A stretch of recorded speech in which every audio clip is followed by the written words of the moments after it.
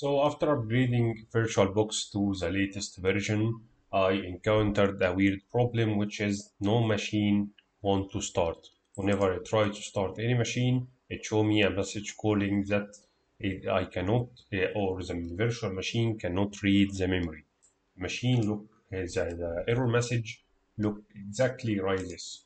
So I opened the log files of the virtual machines and tried to find out what is the root cause of the problem. And unfortunately, I couldn't uh, manage to find any clear reason. But as I can see from the context, the machine is trying to detect the hardware and checking if there is hard drivers or hardware need to be plugged into.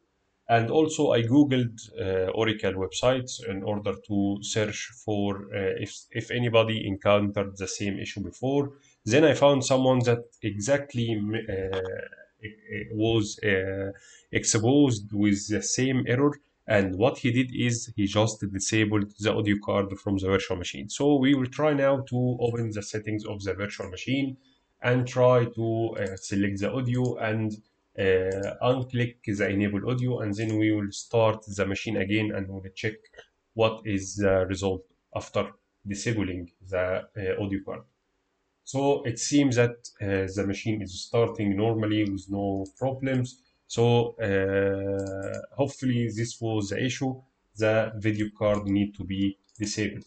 This issue happened after upgrading my, my VirtualBox software from version 6116 to 6126. So I think this is a, is the solution. And as you can see here, I have another machine that have still have the same or, or still has the same issue. And from uh, the log files, I cannot see anything uh, related to audio. So I will try to click on find and search if there is a problem in, in audio.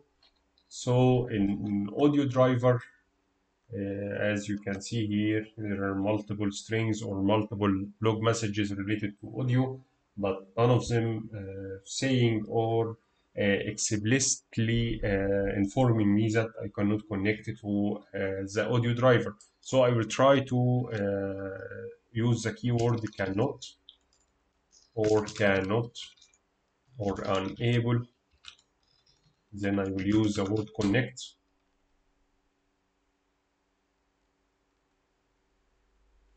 So I can see here a connect failure message or the word connect connect failure, but it is equal false. So it should it should not mean anything for me right now. Okay, anyway, I will try to start the Linux machine, the Kali Linux machine, and see if the same problem will happen again. So I will try to start the machine, and uh, I, I, I, am, I am certain that I will get the same error message. So after getting this error message, I should, uh, as I expected, I received the same error message. So I will now go, go to this machine and apply the same fix. I will try to go to audio settings and remove the enable audio checkmark. Or let's say that you can use any other driver or you, you may uh, try to change the controller. So I will try to change the controller with this machine because this is a Linux machine and I may use it to listen to audio and this sort of thing. So I will try to do a normal restart.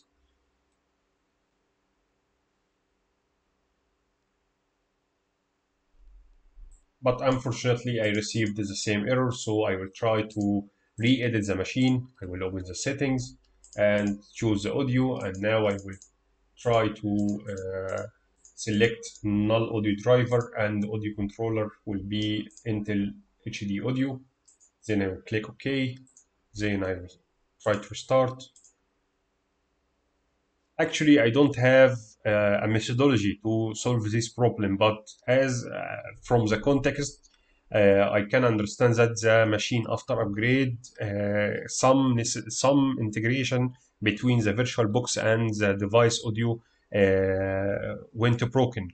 This may be because of update in VirtualBox software itself. And as you can see here, after tuning the audio settings, after going to my machine and uh, change the settings, selecting the audio and selecting the host audio driver to null audio driver, and the audio controller is Intel HD audio or the uh, audio controller that is currently on your machine. the machine is now working uh, I hope properly